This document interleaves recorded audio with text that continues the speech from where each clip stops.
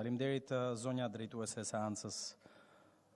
Në fakt të nderuar kolegë, nuk kam asnjë simpati apo ndonjë dashuri të veçantë për llumin mediatik që shpif në çdo hapësirë interneti që ata gjejnë mundësi për të shpifur. Të gjithë ne kemi qenë viktima të shpifjeve dhe të artikujve fake që shkruhen dhe keqpërdorimit të emrave tanë apo të emrave të individëve të tjerë dhe të qytetarëve të tjerë që nuk kanë pozita zyrtare.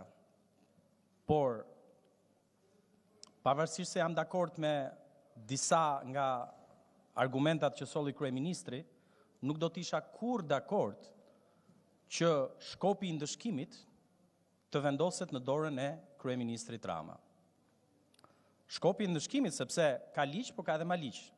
Dhe Shqipëria, ky vend me mendësi neo-otomane, me një super bajraktar erdoganist në krye, me një bord si AMA, i cili është tërësisht në duart e politikës dhe të mazhorancës, nuk ka asnjë shans që të aplikojë standarde evropiane në ndëshkimin apo mbylljen e atyre portaleve që merren me fake news apo me lajme të rreme apo me shpifje. Kryeministri Rama që para ca ditësh ishte në Stamboll dhe tha fjalën Allah shtatë herë, dhe i cili u është futur librave të shenjtë se ka nevojë për libra të shenjtë, ka shumë nevojë për ndihmë nga Zoti, kryeministri, më përmend mua Anglinë, Britaninë e Madhe, Londrën. 1000 vjet parlamentarizëm. Do krahasohemi ne, neo-otomanët këtu, në këtë hapësirë ballkanike, me Britaninë e Madhe, me Gjermaninë apo me Francën. Është në rregull ky apo jo? Po këtë e di i madhi e i vogli i qytetarëve shqiptarë, që ne nuk mund të krahasohemi me Britaninë e Madhe. Vërtet Britania e Madhe ka të drejtë të ndëshkojë dhe të censurojë lajme të rreme apo sidomos lajme që përmbajnë pornografi për të mbrojtur fëmijët. Është një nga vendet nga të cilët e njoh shumë shumë mirë se kam jetuar, kam punuar në atë vend. Por Britania e Madhe ka Ofcom. Ne kemi AMA. Do krahasohet AMA me Ofcomin britanik. Hajde mendje hajde. Neo-otomani, bajraktari i shqiptarëve, më përmend mua Britaninë e Madhe. Në fakt, unë mendoj se sot ka ardhur koha që ne të bëjmë një bilanc dhe një rezume të këtij viti. Ky ka qenë një vit jo i lehtë për shqiptarët. Kemi pasur tërmete politike, kemi pasur edhe tërmete natyrore. Hyrja jonë në parlament dhe qëndrimi i disa të tjerëve në këtë parlament i ka dhënë zë dhe i ka dhënë kuptim institucionit të vetëm kushtetues që mban gjallë shtetin sot, parlamenti. Pa praninë tonë këtu sot, ky parlament nuk do të funksiononte dot dhe këtë ia kujtoj kryeministrit Rama dhe të gjithë anëtarëve të Partisë Socialiste. Pa praninë tonë këtu dhe pa votimin tonë këtu, nuk do të kishte përqendrim të debatit kombëtar në reformën zgjedhore dhe në nevojshmërinë për ndryshimin e sistemit elektoral dhe në hapjen e listave elektorale. Pa votën tonë këtu, nuk do të kishte votim të anëtarëve të rinj të Gjykatës Kushtetuese, apo të kryeprokurorit të ri, apo të anëtarëve të tjerë që do të zgjidhen në trupat e reja që burojnë nga reforma në drejtësi. Pa praninë tonë këtu, nuk do të kishte ndryshim të objektit të Komisionit të Posaçëm Parlamentar për Reformën Zgjedhore, ku është futur hapja e debatit të madh kombëtar për reformimin e sistemit zgjedhor dhe hapjen e listave. Pa praninë tonë këtu, nuk do të kishte kuptim jeta parlamentare në këtë vend që synon të anëtarësohet në Bashkimin Evropian. Po çfarë ndodh sot që kryeministri propozon një paketë antishpifje për t'i mbyllur gojën me ligj, siç u shpreh ai para nja dy javësh, çdokujt që shpif kundër qeverisë? Se që është frikacak nga ca portale, kjo nuk ka dyshim. Që kjo qeveri ka frikë nga fjala e lirë dhe nga shprehja e vullnetit të lirë dhe nga aludimet për korrupsion, për mega korrupsion, kjo nuk ka dyshim.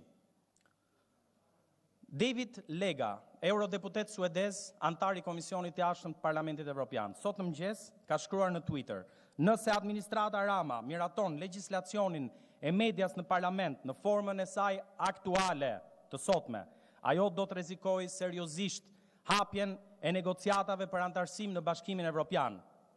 Ata, pra për këta, duhet të zbatojnë rekomandimet e lëshuara nga Komisioni Evropian dhe nga Këshilli i Evropës, shkruan anëtar i Komisionit të Jashtëm i Parlamentit të nderuar Evropian. Në fakt, kur shohim rendin e ditës, të nderuar kolegë, të nderuar qytetarë, të nderuar shqiptarë, është shumë e qartë se ç'po ndodh.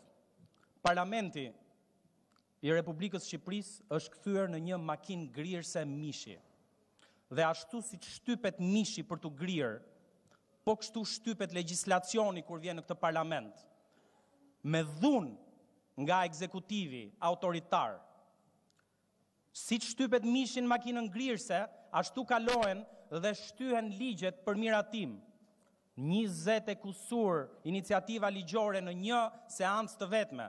Ne sot, zonja kryetare, duhet të kishim një, dy ose tre seanca të dedikuara vetëm për buxhetin! Asnjë lloj debati për buxhetin. Ne, zonja kryetare, duhet kishim një seancë të dedikuar ku të flisnin të gjithë deputetët me të gjithë anëtarët e nderuar ose të panderuar të mediave atje lart, vetëm për ligjin e antishpifjes. Ne duhet kishim një seancë të veçantë për Korporatën e Investimeve Shqiptare. Është futur në rend ditës, askush s'e përmendi sot.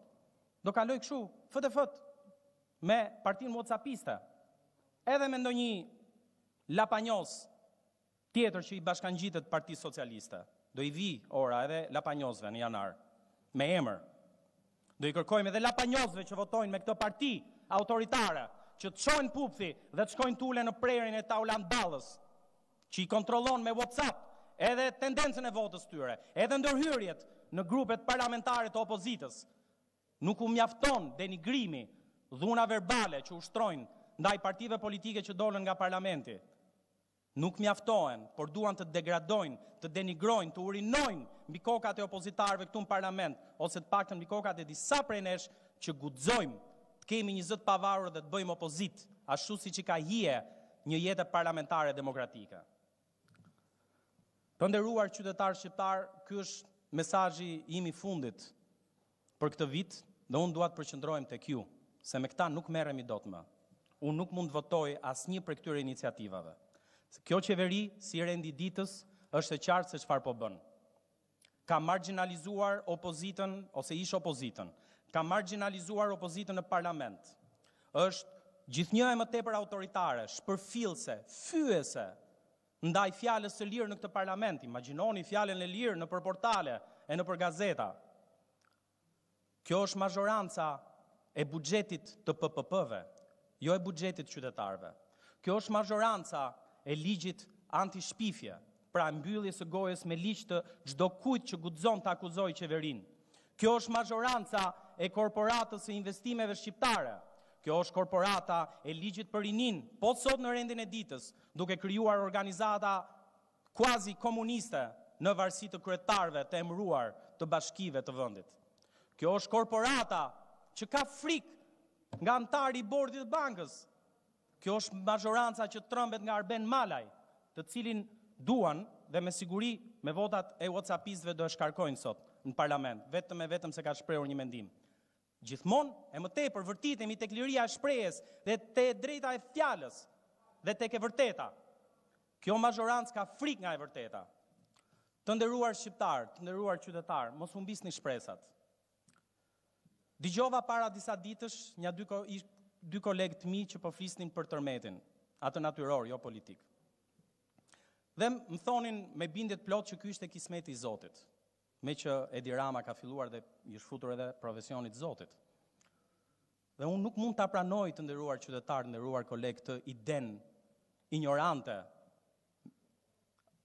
provinciale të kismetit të zotit. Pra na paska dashur zoti që të vdisnin njerëz, paska dashur zoti që të vdiste Diena me vajzën e saj në tërmet, paska dashur zoti që të shembeshin pallatet. Po kështu me kismetin e Zotit i bie që neve duhet të jemi nën mëshirën e mazhorancës së Edi Ramës. Nuk jemi të mallkuar qytetarë, jemi të bekuar. Nuk jemi të varfër, jemi të vjedhur. Nuk jemi të paditur, jemi të fjetur. Nuk jemi pak, jemi shumicë. Nuk jemi të vetëm, Por jemi plot miq ndërkombëtarë, nuk jemi pa shpresë, jemi e ardhmja. Nuk jemi të rrethuar, jemi të lirë. Nuk jemi të ndarë, jemi të bashkuar në zhgënjimin tonë me këtë kastë mafioze.